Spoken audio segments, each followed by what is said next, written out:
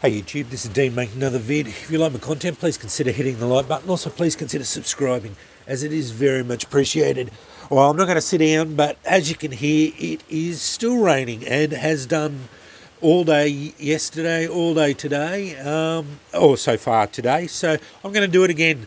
I'm going to uh, not do it again. I'm going to do it anyway. Um, happy Flint and Steel Saturday, everyone. It's um, yeah atrocious out here today, but anyway. Um, that's the way it goes. Sometimes you just have to roll with the punches. But I'm not going to sit down because I'll get my bum wet. But I've got a mat that I bought for such occasions, but I'm not going to get it out. I'm going to do Fatwood Stony Outdoors, the Steve's Fatwood Loblolly Gold Fatwood with char cloth using Indiana chert that my good friend Michael Bruner gave me. And I'm using a Beaver Bushcraft kit, mini striker. This is the kit it comes in.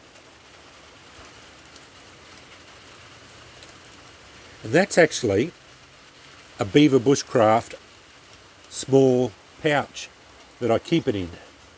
So it's a really nice, beautiful little pouch. I added the little leather, uh, le little antler toggle, but I've just I've added a few bits of bits and pieces, and then I made up that little leather pouch, and it's got got a little bit, a few more pieces of uh, flint, bit of char, uh, am amadou, and then this has got the striker, char tin, more amadou, piece of flint, and some uh, jute down the bottom of it.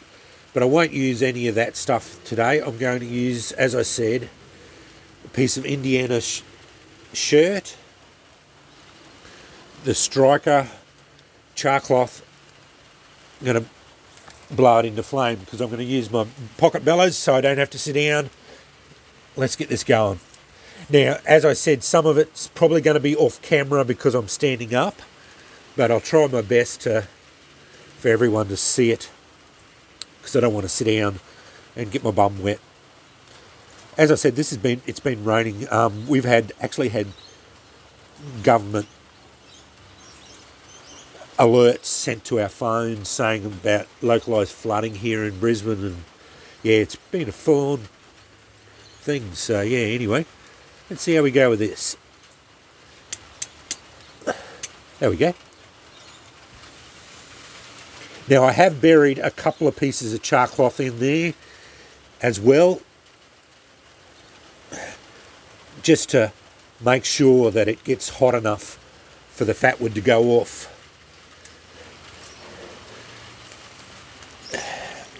Don't need that much.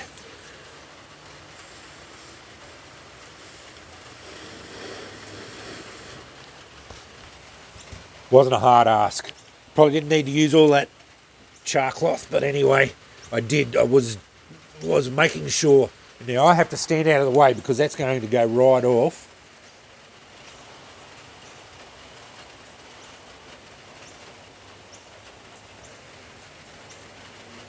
Because this loblolly gold is really good.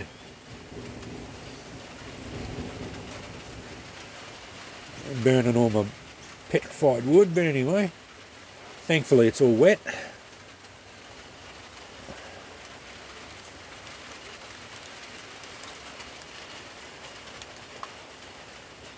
Let that go down a little bit before I get get back in frame.